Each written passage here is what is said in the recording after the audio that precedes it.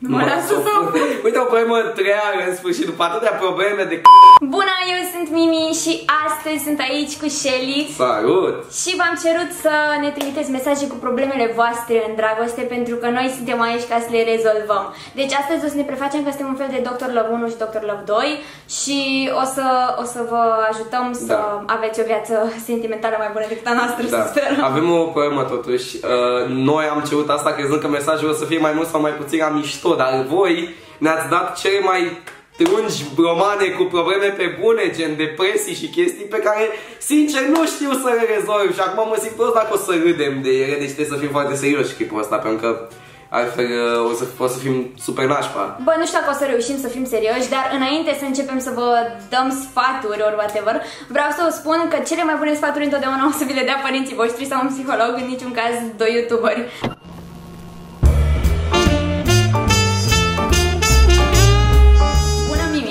Multe întrebări, dar nu au neapărat legătură cu dragostea. Deci, eu am transformat și acest vlog într-un Q&A, bine v-am găsit. uh, Este greșit să fiu geloasă pe relația a două persoane?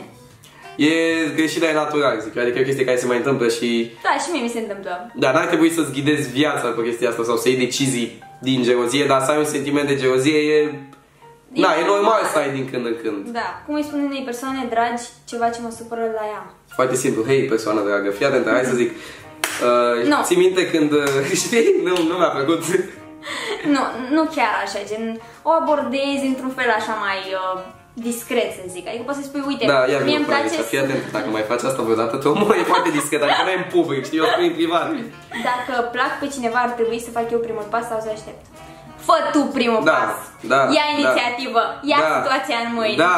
Arată-le ce poți. Exact. Ce fac dacă sunt rănită? Uh, te duci la spital. e fată? Da. Mănânci. Mănânci, mănânci foarte mult înghețată, uh, pufuleți, uh, da, dacă... Dacă ești rănită din dragoste, trebuie să înțelegi că în viața ta nu există doar dragoste, ai prieteni, ai... Uh, ai carieră. preocupări, Poate ai o carieră, poate nu ai o carieră, dar tot Ai ai, școală. preocupări, tot ai școală, poate ai pasiune, ai hobby-uri. Uh, axează-te pe chestiile astea, oricum sunt mult mai utile decât dragostea. Deci, na, Și adică spune din experiență, că altfel n-ar fi ajuns unde e acum. da. Mă lasă să... Uite o problemă întreagă în sfârșit, după atâtea probleme de căcat, în sfârșit cineva chiar are o problemă, domnule. Nu mă lasă să o fă. Da. Spune tu, Shelly, care e rezolvarea aici, că eu nu știu. Pe acum, ca să găsești o rezolvare a asta, în primul rând trebuie să știi de ce nu te lasă. Da, și nu ne-a zis. Uh, poate să fie că e ea prea mică și că nu vrea în general, uh, poate sunteți voi de foarte puțin timp împreună, depinde de vârsta ei, depinde de tot felul de lucruri de genul ăsta, trebuie întâi să identifici motivul. Real, adică ok, asta e nu mă lasă, dar de ce nu mă lasă și după aia vezi, poate uh, poți să rezolvi sau poate dacă ești într-o relație cu ea deschisă poți să spui, bă uite care e faza, la un moment dat, adică după ce vă cunoașteți cât de cât ca oameni și dacă tipa ai mă poți să-i spui, bă uite care e faza, eu simt că lipsește ceva din această relație, fata mea, și uite cum e situația. Și dacă ea o să o țină cu nu, nu, nu, uh, Vă despărțiți. da, Clar nu căutați același lucruri. da. Depinde de vârstă, ți-am spus, adică după, după o vârstă sexul e ceva normal. Dacă înainte de vârstă nu e normal și e de înțeles. Și deci depinde de vârstă foarte mult. Faza e că eu și fostul iubit ne-am despărțit, iar el, iar el nu mai vrea să fim împreună. Dar eu vreau, am încercat un an de zile să mă E împac cu ceva. el, dar tot nu a vrut. Poate trebuia să-l las în pace. Ce să fac? Și nu spune să-l las în pace dacă nu mă iubește, că nu pot forța etc. Ce nebună! Bă, nu vreau să spun să ia și în pace, dar dacă un an de zile ai încercat și n-a ieșit și tu nu poți să ia și în pace, bine, poți să hărțuiești în continuare, dar nu o să ajungă la un rezultat. Adică... Nu, fii atent. Um, în adolescență e foarte normal să faci obsesii, adică să ai obsesii.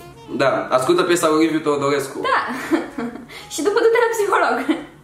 Și eu am avut Nu o spune să obsesie. ducă la psiholog doar pentru că este obsedată de cineva. Băi, eu am avut o obsesie și la mine a durat 2 ani de zile, gen... Și te-ai dus la psiholog? Nu, dar păi și atunci... trebuie să mă duc. Dacă mă duceam la psiholog, acum nu mai eram o psihopată. Da. Adică, pe bune, duceți-vă la psiholog dacă aveți obsesii din astea.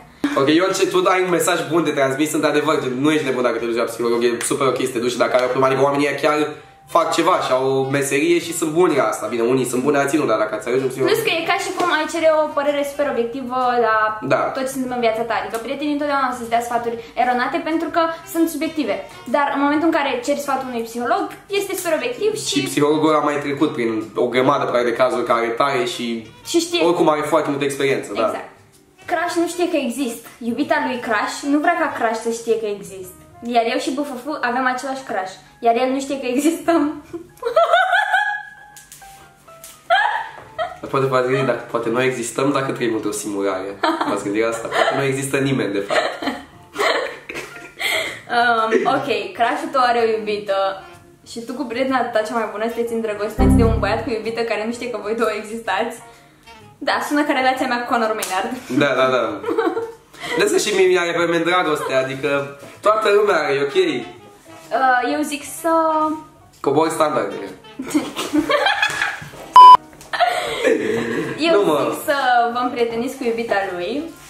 Nu cred că iubita lui, cred că iubita lui simte, femeile simt chestiile astea, gen. Da. Cred că da, nu cred că Da. e un sfat bun ăsta. Și o să vă dați seama că e o persoană minunată și nu o să mai vreți să fiți cu iubitul ei. Asta e faptul. De ce ar vrea să fie cu mine, eu să accept, dar apoi să-și bată joc și să fie iar cu fosta, numai ca să-și satisfacă morbida poftă de a mă vedea când plâng. Nu, nu cred că are nimeni poftă de a vedea femei care plâng, sincer. Ba, există bărbați. Există? Da. Bine, care- ok, există ciudați peste tot în lume, dar Băi, nu cred că asta e. Cred că, cred că tu interpretezi lucrurile greșit. Cred că el, sincer, nu știu, poate mă înșel, dar cred că el nu cred că are o poftă de a te vedea plângând asta în primul și în primul rând. Ori interpretezi tu greșit, ori el este scorpion și uh, îi... nu mă pricep la zodii, nu mă las cu astea. și um, îi place mai mult puterea decât uh, orice altceva. Da. Și atunci, în momentul în care face o persoană să sufere... A... Simte că are control și dominație Exact. și se simte bine, da. Exact, da. Deci, uh, îndepărtează-te de persoana asta, este toxică.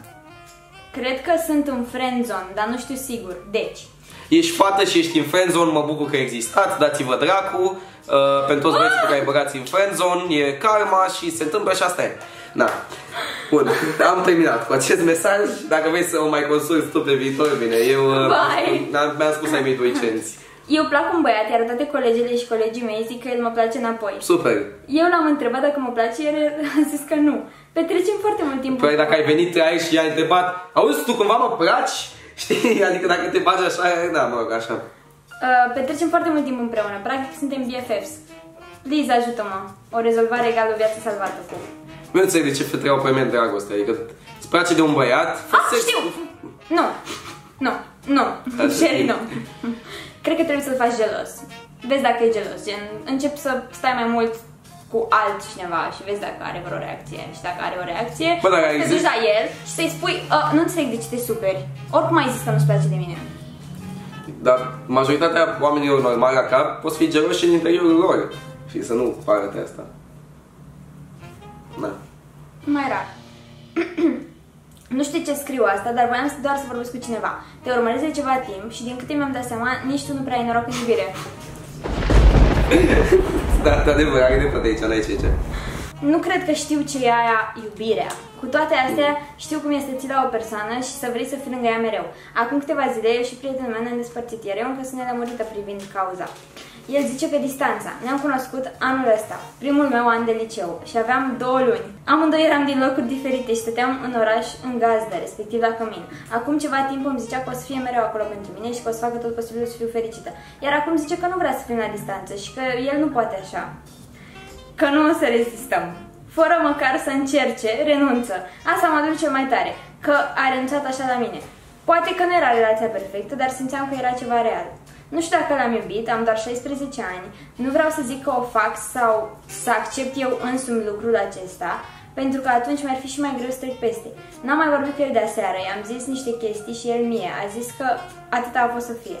Nu vreau să trăim o dramă, nici tu, nici eu, au fost două luni, nici nu m-ai iubit, nu înțeleg de ce reacționezi de parcă a fost mai mult.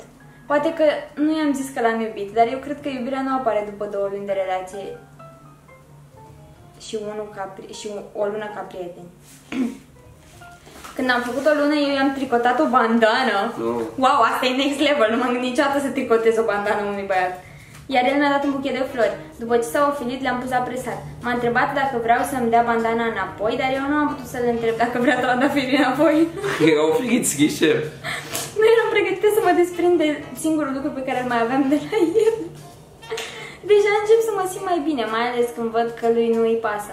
Tu spui că nu știi dacă l-ai iubit, dar Da, ești gen- chiar ai iubit, cred. Da, și eu cred că l-a iubit, nu? Da. Dar gândul că putea să mai fie, puteam să continuăm, dar el a renunțat, asta nu-mi dă pace. Cel mai doros să-mi fie de Da, serie... ai iubit, ai iubit. Stați că avem și memoriile ei aici. Cel mai doros să-mi fie de seriile din scara blocului, de, de peste strada de liceu, acolo unde ne întâlneam de obicei, de toate glumele. Chiar credeam că am găsit ceva pentru mine. Aveam atâtea în comun, amândoi aveam o pasiune pentru citit, pentru seriale, muzică. Toată lumea are o pasiune pentru citit, seriale și muzică. Nu, românii nu citesc cărți atât de multe, crede-mă. Deci nu, Shelly, e- Shelly, dacă tu nu citești cărți, asta nu înseamnă că nimeni nu citește. nu mă face incurt. Românii nu citesc cărți din principiu și nu spune mie că nu citesc cărți, da? Ah, spuneți-ne în comentarii dacă voi citiți cărți. Eu citesc cărți. Ok. El e pe mate info, iar eu pe biochimie și aveam majoritatea profesorilor comuni. Mereu glumeam pe seama lor. Eu îl ajutam la chimie, el pe mine la info. A fost, nu știu dacă perfect, dar a fost ceva. Oh, chiar mă simt prost, chiar e... Adică, uite, un mesaj de la o tipă care chiar e... Gen, da. Da, nasol. eu să zic încerci... să te liniștești vara asta și la toamnă probabil că o să vă vedeți din nou și o să luați relația de acolo de unde a rămas și o să fie totul bine. Da, sau mai vorbește cu el, mai vorbiți, mai, da, nu știu, vezi dacă încearcă să scape de tine sau... Da, poate e doar un știi? pretext, poate distanța e doar un pretext. Da, sau poate chiar crede asta, depinde din nou de situație. Vezi, vorbește cu el, încearcă să așa, încearcă să-l faci să fie sincer, poate chiar o să fie sincer, am că bă, uite, n-a fost asta, a fost că nu știu, n-aveam eu chef sau ceva de genul, măcar o să ai un răspuns concret. Nu se coaie, sunt atâtea fete și atâția băieți frumoși și lume, de ce există probleme în dragoste? Da, corect. Sunt de persoane drăguțe. Da. Da.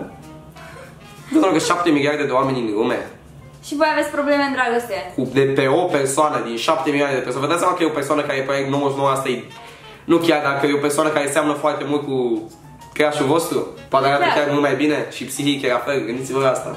Da. Păi, cred că am răspuns la destul de multe probleme în dragoste astăzi. Da. Noi sperăm că v-au ajutat cu ceva sfaturile noastre, cu toate că nu suntem siguri. Dacă v-a plăcut acest video, nu uitați să dați un like. Spuneți-ne în comentarii dacă mai vreți să facem uh, această chestie, Dr. Love, wannabe, emisiune... Smenta 2005. Da. Sau dacă a fost super cringe, e ok, gen putem să... Eu chiar am încercat să fiu de ajutor. Bă, dar și eu, gen Da. chiar sperăm că v-am ajutat în vreun fel. Sau altul. Da, dar să știți că majoritatea problemelor de dragoste nu prea au rezolvare, de asta e, e gra. Sau dacă au o rezolvare, nu e o rezolvare gen... Nu e rezolvarea pe care v-ați dori eu voi. Exact. La premerarea. Dacă v-a plăcut acest video, nu uitați să dați un like, dați share pe Facebook ca să vadă și prietenii voștri cât de bine ne pricepem noi la dați sfaturi în dragoste. Uh, dați subscribe la acest canal, dați subscribe și Shelly dacă nu i-ați dat deja, e posibil să nu-i fi dat deja, mă rog. E posibil. Și ne vedem data viitoare. Pa! Hei, în caz că nu vedeți, Mimi a prins o lumânare în spate. Deci asta înseamnă atenție la detalii, asta înseamnă dedicație și devotament